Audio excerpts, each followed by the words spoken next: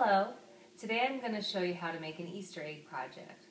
You're going to need some glue,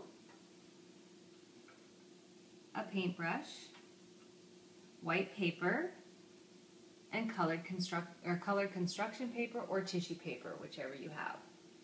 And the first thing you're going to do with your white paper is cut it into the shape of an egg. Go ahead and take your brush and paint your glue onto your egg You want to try to cover the whole outside part of it.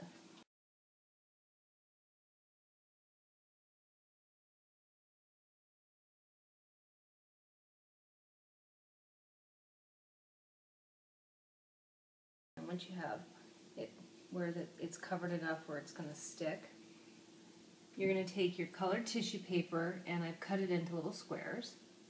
You're just going to start placing them all around the egg. The more colors you have, the better. And this is something that small children can do.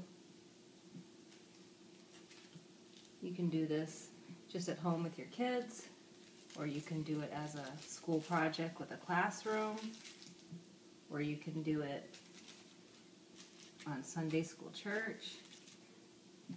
It's something that all ages can do, which is fun.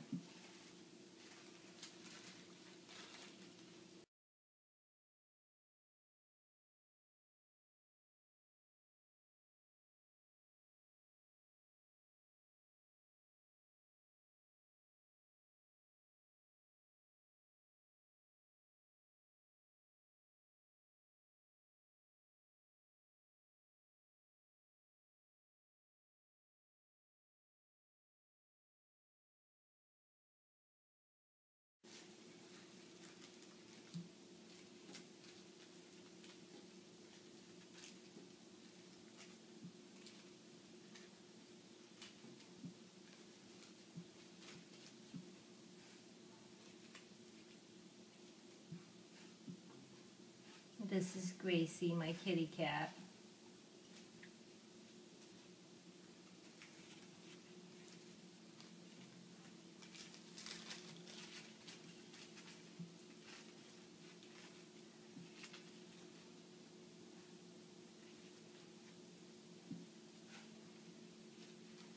Okay, and then that's pretty colored, and then you just let it dry, and then you have your Easter egg